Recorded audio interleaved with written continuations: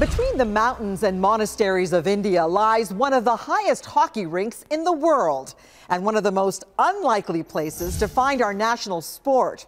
Our Jas Johal travels to the Himalayas, where hockey is played 11,000 feet above sea level and where the sport is forging a cultural bond.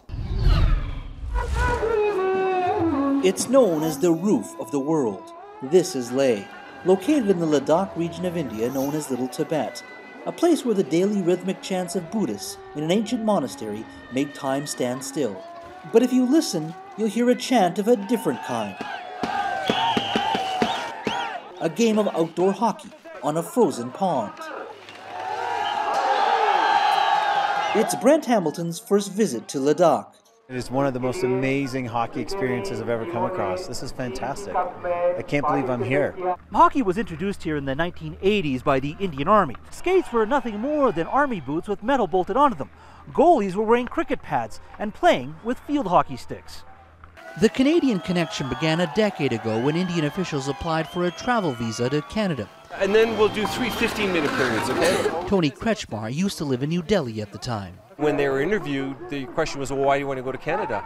And the official said, well, it's to get ice hockey equipment. So these officer thought, well, Indians don't play ice hockey. It's a hot country. That's a scam. When Canadian officials investigated further, they were shocked to find a tiny hockey hotbed in the foothills of the Himalayas.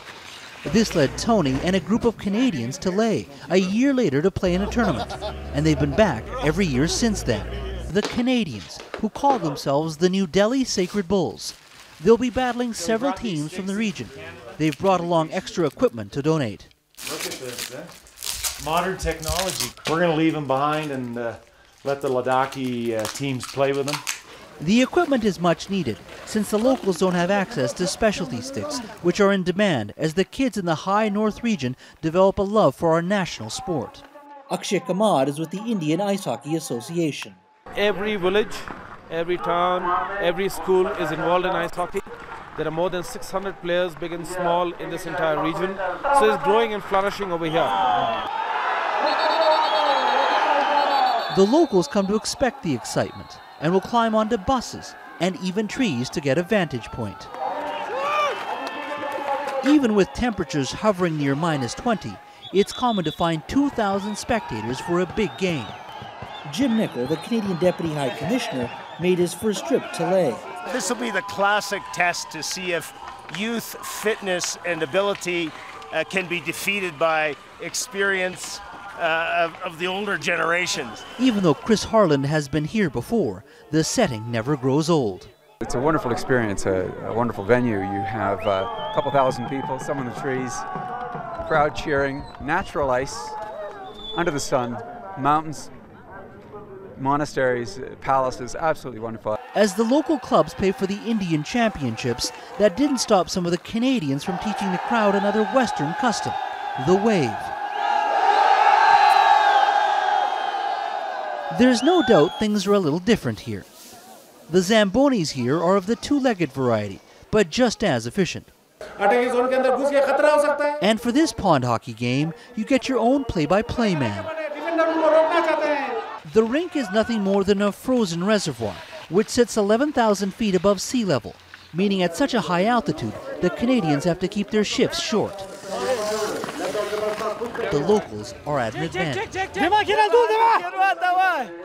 Sonam Paldan plays for the Ladakh hockey team. Our advantage is the ability to play in high altitudes of 11,000 and 12,000 feet. We have the stamina. You know, we're used to uh, lugging gear in our business, but at this uh, elevation, we're about 13,000 feet. You really run out of breath.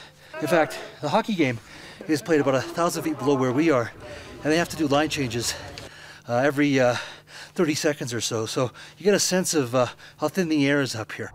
Located near the Pakistan border, political problems are never too far away. The region is still defined by border disputes between India and Pakistan, which have been ongoing since the 1940s. Leh is safe from much of the fighting. Its residents are Buddhist and Muslim. During the winter months, there is little for locals to do, particularly kids. Hockey keeps them busy. Cynthia Hunt is a Canadian who has lived in the region for over two decades. She spends most of her time working with the young in isolated villages. In many villages, there's a youth problem, and our Future Leaders program started in hockey to deal with young people who've dropped out of school, feel they can't compete against Leh, which is our capital city kids, and uh, don't get jobs, uh, then can get into trouble, get into drug issues, alcohol. The relationship between Indians and Canadians has slowly grown. Cultural nights for this once a year get together are now always organized. We are hosting the Winter Olympics this year in Vancouver. And uh, it would be great if uh, at some point we can see some of the kids here from Ladakh go to some of the Winter Olympics, wherever they may be in the future, and we certainly hope that will happen. A permanent rink in Leh is now being built. It's hoped construction of a new hydroelectric dam nearby will guarantee electricity, which will allow it to be open year round. Last year we selected our national ice hockey team for the first time ever. They went to Abu Dhabi to play in the Asian Challenge Cup, which was the first international tournament and we also managed to score our first international goal. Great news for Canadians who are helping hockey grow in the land of cricket. Peter Nesbitt has lived in India for eight years. This is his first visit to Leh. I feel very humbled to see uh, them embrace the game of hockey up here. It's great. You feel very proud uh, to be Canadian. In the end, the Canadians win the tournament. More importantly, they've now helped find a home for our national game on the roof of the world. I'm very proud to see how, how it's developed over the years. You know, when we first came here, it was like pond hockey in Canada in the 20s. And to see them now, they got full gear. They're, they're really understanding the game. They're going on international tournaments. It's just like a I'm like a like a father who's seen his child grow up for 10 years.